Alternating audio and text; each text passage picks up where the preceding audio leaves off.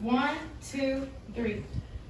Michael, I have an emergency out there waiting for me. I'm gonna have my associate take care of you today. Is she You're- good? She's amazing. You're gonna absolutely love her. Just Okay. relax. Okay. She'll be right in with you. All right. Also. Thank you. Uh huh.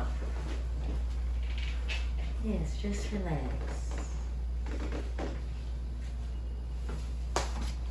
Jesus Christ! You thought you was gonna get away. No! No, please! No, no, no, no. The bitch is crazy! No, he's okay. Oh, I He's tried to fine. He's fine. The bitch is trying to kill me! He's fine. No, my nigga, please! No.